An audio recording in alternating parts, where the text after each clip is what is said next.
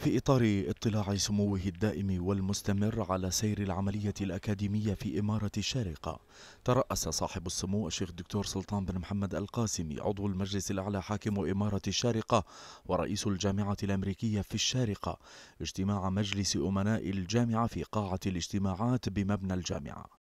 واطلع صاحب السمو حاكم الشارقة على آخر التطورات المتعلقة بالكفاءة التشغيلية والتطوير المستقبلي للجامعة وصادقها في الوقت ذاته.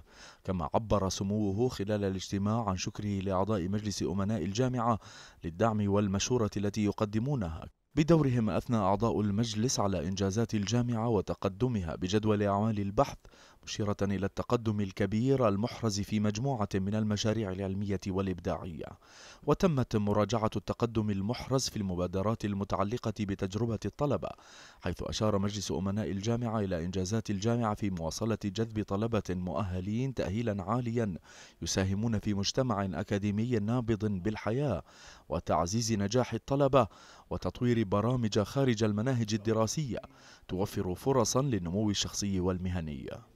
وشملت القرارات التي صادق عليها صاحب السمو حاكم الشارقة ورئيس مجلس أمناء الجامعة البيانات المالية الموحدة لمراجعة السنة المالية 2020-2021 كما صادق أيضا على الخطة الاستراتيجية التي ستوجه الجامعة حتى العام 2025 كما تم تعيين عضو جديد لمجلس الإدارة وهو الدكتور جي بي بد بيترسون الرئيس الفخري وأستاذ ريجنت لكلية ووردروف للهندسة الميكانيكية في معهد جورجيا التقني.